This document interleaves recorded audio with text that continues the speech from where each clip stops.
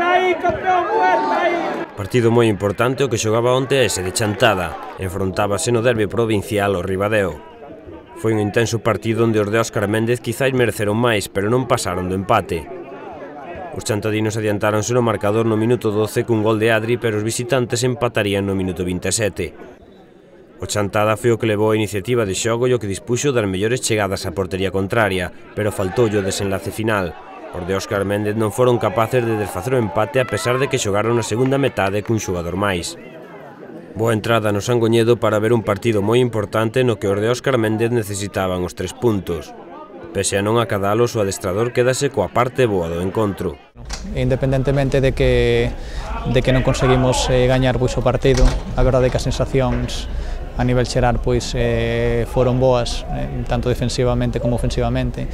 É certo pois que o, o rival, pois, o Ribadeo neste caso non lo puso moi difícil, incluso quedou cun home menos.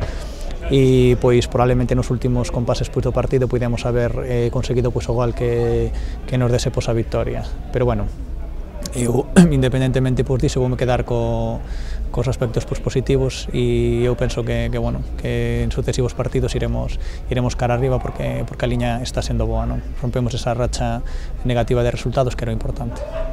Unha mala racha leva ese de chantado aos postos de descenso directo. O equipo chantadino leva unha súa vitoria dos 10 partidos xogados, empatou 3 e perdeu 6, polo que queda de penúltimo na táboa con tan só 6 puntos.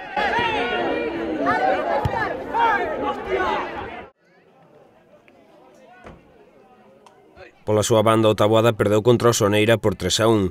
Os de Emilio comezaron perdendo por 2 a 0, achegáronse un pouco cun gol de Guerreiro de penalti, pero os locais sentenciaban no minuto 73 poñendo definitivo 3 a 1.